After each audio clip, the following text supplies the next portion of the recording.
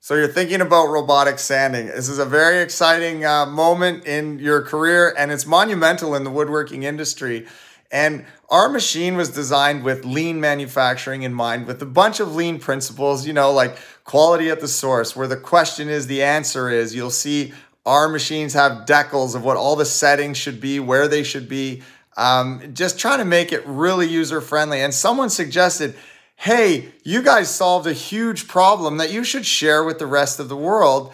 And what we've done is we've taken those thick manuals that you get with every machine. We've tossed that in the garbage because no one reads them anyway. And what we do is we make cool videos to show your operators exactly what to do and why and how. And so we thought, okay, we're going to post one of these out in the public domain just to give you a little glimpse of what it's like to be a Stolbek customer and what our um, manual videos look like. You get access to our website, your own portal with all of these videos, and we also leave you with a binder with QR codes that your operators right at the machine, if they're struggling, they scan the QR code and they get the video. So here's one of the videos as a little teaser. Um, let us know what you think. So in this video, I want to do a quick demo of the sander on delay. So what that means is as the sander is approaching the part, at what point are we turning the sander on? So I'm gonna show you two examples. One where the sander's coming on way too soon, one where the sander's coming on way too late. I guess I should show you the sander coming on just perfect and how to set it. Ideally, you want the sander coming on just as it's touching the part. If you start it up high and it comes down to touch the part, what's gonna end up happening is the sander is gonna wind up and it's gonna burn through your primer. Or if it's starting too late, you'll notice it touches down, starts moving, and then when the sander comes on, the robot kind of jumps. It just looks a little bit violent. So we'll show you how to get that timing just right. So this is where the sander's coming on a little bit too late, and you gotta be pretty quick. We're measuring this in milliseconds.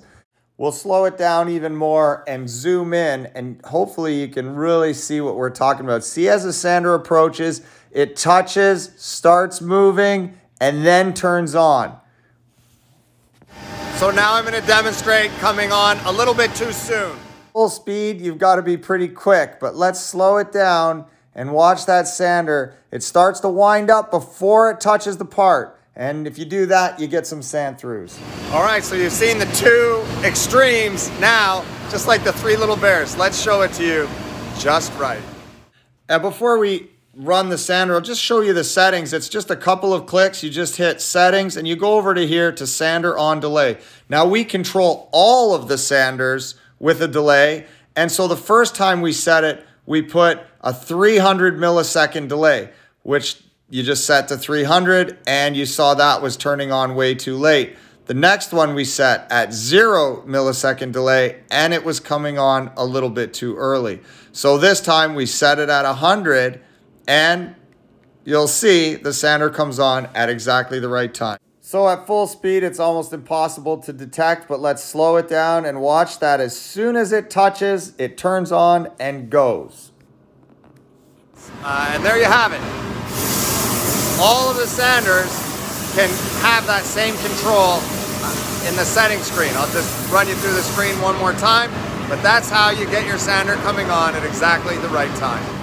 So one more time through the screen, you just go to settings, sander on delay, and you can see we control every pass with a delay to make sure it's perfect. So if any of this is unclear or you need some further help getting your machine dialed in, don't be afraid to jump on the WhatsApp chat that was created for your company and reach out. We're here to help. I almost forgot. That's another cool thing that we do. Every customer that buys a machine from us, we create a WhatsApp chat with your whole team and my whole team. And that way, if you have any trouble at the machine or you're curious about something or just need a tip, then you post that video, picture, or question on your group chat and someone's gonna get back to you instantly. It's a great way to get instant answers and we're not doing the good old fashioned pick up the phone, call the service guy, get his voicemail, leave a message, he calls you back. Forget all that. We want answers and we want them now. Anyway, there's a glimpse of what it's like to be a Stolbek customer. We'll talk to you soon.